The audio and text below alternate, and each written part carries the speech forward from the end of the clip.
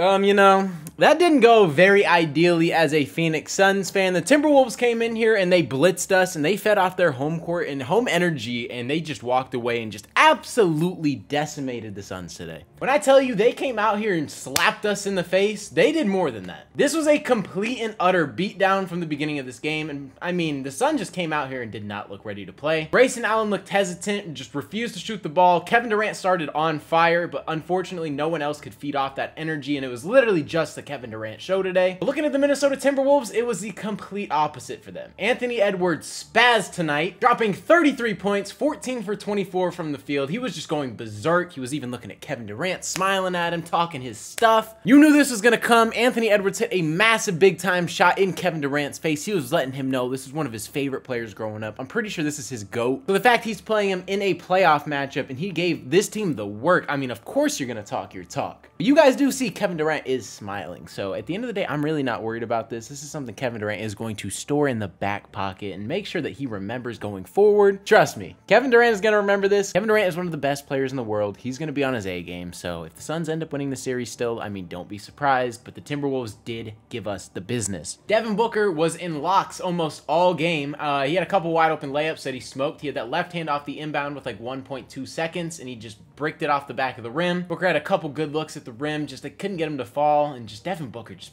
honestly was one of the reasons we lost this game offensively. You're supposed to be the second best player on this team, and you came out here and shot awful. 5 for 16 from the field is not going to cut it from your second best player. That is just unacceptable. And like we said earlier, Grayson Allen played awful. Very hesitant. There was a play where Grayson Allen and Kevin Durant were on the left side of the court. Kevin Durant was posting up, and Grayson Allen just kept feeding the ball. Kevin Durant would kick it, Grayson Allen wouldn't shoot it, would just dump it back down to the post, wouldn't move. He looked scared, he looked timid, and unfortunately for him, he doesn't even have a chance to break that because he does have an ankle sprain. He went out today, and his status for the series is currently up in the air. He didn't return to this game, so if Grayson Allen does miss games, it's going to be a massive blow to this team. Fortunately, we do have Royce O'Neale to sub in, but it just sucks, man. Going forward into game two, there are a lot of things that need to be corrected. Like, for example, I don't think any of us thought that Nickeil Alexander Walker was going to come in here and drop 18 points on 7 to 12 shooting on the bench. That wasn't on the bingo card, but it happened. You got to account for that. Your role players have to step up in these playoff moments. That's why the Denver Nuggets were very successful. Their role players, Michael Porter, Aaron Gordon, Kentavious Caldwell Pope, all those guys stepped up last year the Timberwolves want to win, Nickeil Alexander Walker is going to be one of those players. Naz Reid is going to be one of those players. Fortunately, tonight, Mike Conley shot 2 of 12, and they still walked away with the win. That's not something that you want going forward. Luckily, though, Karl-Anthony Towns was the best second option for this team. He was dominating, getting to the free throw line. He shot 8 of 8 tonight. He was having his way. He had a nice little stretch in the middle of the game, and he led a nice run for that team. And speaking of big men, let's go ahead and shout out Rudy Gobert. I'm not a Suns fan, but his perimeter defense tonight was spectacular when he was on switches. He had Booker a couple times, Kevin Durant, Bradley Beal. He stuck him pretty well, and people were telling me that he was going to get played off the court, but that just wasn't the case tonight. And if you watch games, you know Rudy Gobert is a very improved perimeter defender this season. He's one of the best rim protectors of all time.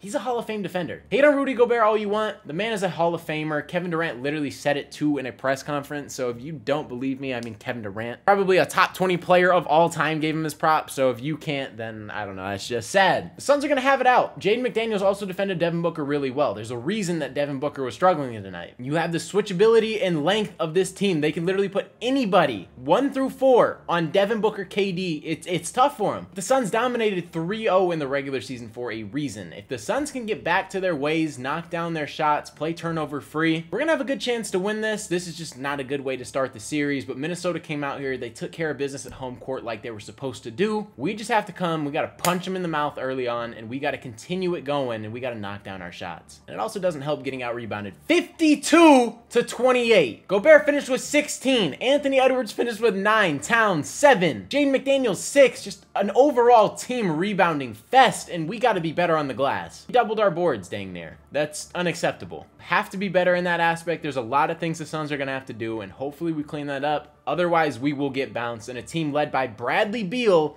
Devin Booker, and Kevin Durant could get first rounded. We have to be better. But with that being said, man, that's pretty much going to wrap up today's video. I mean, a 25 point loss does suck. My head is still high. I have optimism for this series, but I mean, we'll see how it goes in game two. Minnesota is still at home. If they take care of it, I'm still not going to trip because you're supposed to do that. That's why home court advantage is so lethal. You want it, you play better at home. That's just how the NBA works. That's how basketball works. You go on a run, the crowd goes crazy. Things can get riled up pretty quickly, and it happened in Minnesota. They haven't been in the playoffs for like five or six years. They've been waiting for this, and I'm very excited to see how this series plays out. But let me know down in the comment section below how you guys feel about this game, what you guys noticed, who you think is going to win the series, or if you're a Suns or Timberwolves fan, who you genuinely are concerned about going forward for the rest of the series, and what you think needs to change. With that being said, that is pretty much going to wrap up today's video. I typically post Arizona Cardinals content today, Phoenix Suns. So if you're a fan of either of those, this is the perfect channel for you. But like I said, man, that is all I got for today's video. Hopefully you guys did enjoy.